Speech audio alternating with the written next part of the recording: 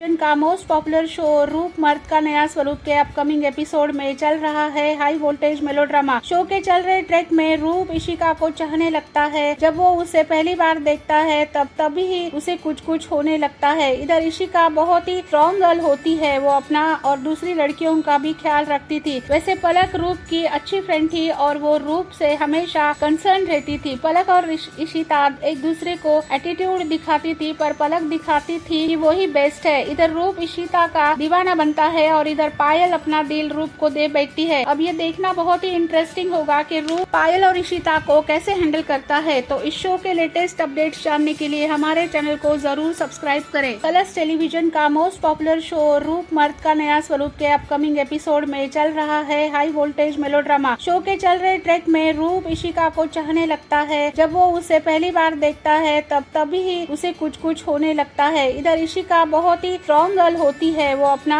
और दूसरी लड़कियों का भी ख्याल रखती थी। वैसे पलक रूप की अच्छी फ्रेंड थी और वो रूप से हमेशा कंसर्न रहती थी। पलक और इशिता एक दूसरे को एटीट्यूड दिखाती थी, पर पलक दिखाती थी कि वो ही बेस्ट है। इधर रूप इशिता का दीवाना बनता है और इधर पायल अपना दिल रूप को दे बैठती है। अब ये देखना बहुत ही इंटरेस्टिंग होगा कि रूप पायल और इशिता को कैसे हैंडल करता है। तो इस शो के लेटेस्ट अपडेट जानने के लिए हमारे चैनल को ज़रूर सब्सक्राइब